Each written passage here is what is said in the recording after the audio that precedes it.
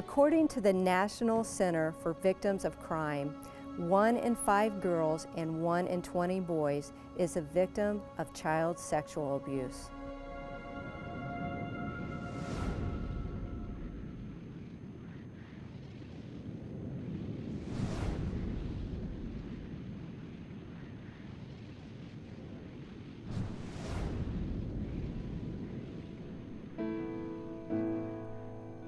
Just take him to the place. Watch dead things live again.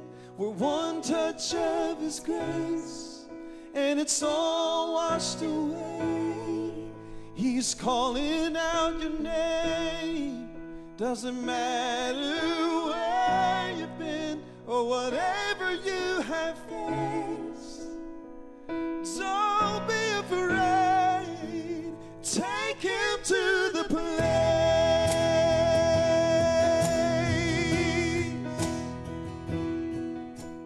As a member of the Grammy and Dove Award winning The Crabb family, Aaron Crabb and his beautiful wife Amanda are loved by gospel music fans around the world. Their love for God and their family has taken them from Grammy and Dove Awards to a new place of restoring hope for the brokenhearted. This is their story of unshakable faith. This is today's life. Amanda and Aaron, it is so good to see you. Good to see Good you Good to too. see you. Good to be with you. Tell me about Take Him to the Place. What was behind that song? Well, the song Take Him to the Place um, is my testimony song. And actually, you'll remember we were in Israel with Pastor John Hagee, and we sat at a table at dinner. It was the first time that you and I had officially met. and I don't know how conversation led, but you and I began to talk, and I shared my testimony with you. And that day, after we had shared and um, you kind of inspired me. You, you encouraged me to write, and you know, your testimony needs to be heard. And although I had been sharing it in conferences and places like that, I will never forget we were at the Wailing Wall the next day, and I wrote on the paper, Lord, I'm ready to be creative for your glory again. And when I backed away from that wall, the lyrics to the song Take Him to the Place began flooding my soul. And for the next couple hours, I walked around in Israel with my phone just, you know, typing out the lyrics. And Yeah, we were the bus captains, so we were supposed to be in the front, and here's Yeah. Amanda in the Um, back, yeah. typing away. You know. yeah, and he was like, "What are you doing?" I was like, "I'm writing a song." And um, he remembers the first time that I began to sing him what the Lord had given. He just he began to weep because we lived it. We lived this testimony. I lived it a lot longer, but he lived a portion of it too. It comes from um, a place of pain and yet a place of victory. Um, I was sexually abused beginning at the age of five and carried on until I was about nine from different men in my life. And um, the one thing that was the common thread was you can't ever tell. So the enemy had placed a gag order on my life.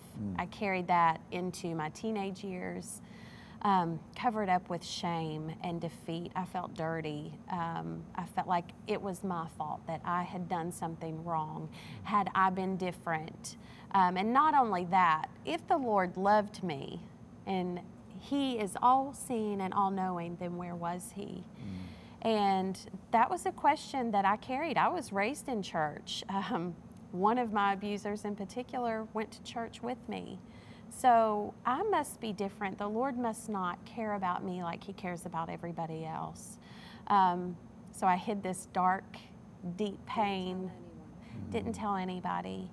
And so when I met him, we met, we were 19 years old, we were babies.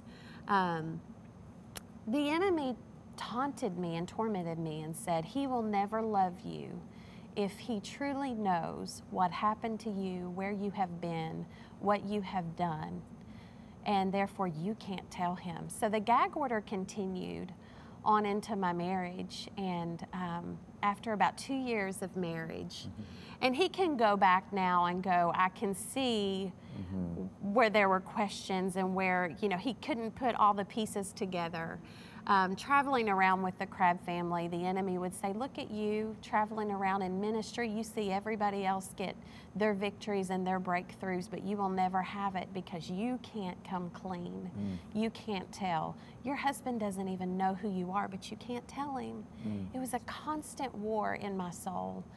And in August of 2003, we were um, in Central City, Kentucky. The Crabb family was sound checking. The bus was backed up behind the stage, and it's an outside concert um, that about 3,000 people come in attendance every year. And the music was so loud, and I knew that I was the only person on the bus that day. And I screamed out to God with everything that I had. And I, I said, God, if you don't do something in my life, I'm going to leave him because I would rather walk away and not feel the pain of rejection because I already had so much bitterness and hurt and anger and frustration that I didn't want to add rejection on top of that because he couldn't love me. I already had that in my mind from the seeds of the enemy. He couldn't love me. So I screamed and said, God, if you don't do something, I'm out. And you know, the awesome thing about God is that when you get to a place of true desperation in Him, He will do supernatural things. Mm-hmm. And that day, He um, sent a lady. I walked off the bus, walked about 50 feet to the product table, was going to do my job. Mm. And this little lady came up and she said, I need to speak with you. Rana Sipes. Rana. And um, I said, okay. I didn't know her, she didn't know me. And when I said, okay, she said, no, we need to go privately and have a conversation. And I said, okay. So I followed her about a block back behind an, a nursing home in Central City, Kentucky, and we sat on an embankment. And she began to tell me everything about my life that I had never spoken to another human being. God sent an agent of hope to my rescue. Mm-hmm. That place of desperation, that bitterness of soul that I was crying out, mm. and He sent someone to meet me there. Mm-hmm. And I laid in her lap and I wept for over two hours, and she just stroked my hair for the first time. I didn't have to say a word, I didn't have to confess anything. God knew it all. Mm. And that was His way of saying, I've been there the whole time. I watched your hurt, I watched the pain, I watched your fear, and now my glory is going to be seen through it. And she said, Now that you have emptied yourself of all of that junk, I'm going to pray that God fills every crack and every crevice. And boy, mm-hmm. our life at that point forever was changed. The power of God consumed me in a way that I never knew possible. And the minute he saw me, he said, What has happened to you? yeah, absolutely. This boldness of, of just prayer and um, seeking the Lord. And I spent literally um, six months in a prayer closet. Uh, anytime I would fear um, him, you know, wanting to leave or someone finding out, I would go and I would lay in my prayer closet. And after about six months, um, I told him everything. There was a healing that came, and I shared everything with him. And um, God has been faithful every step of the way. You know, it's so good to see you. Thank you so much for being here with me today. Thank, Thank you. you. Are you hurting? Are you hanging on to shame and guilt?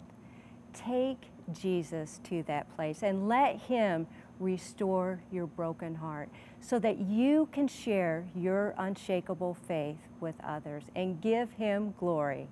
This is today's life. I'll see you next week.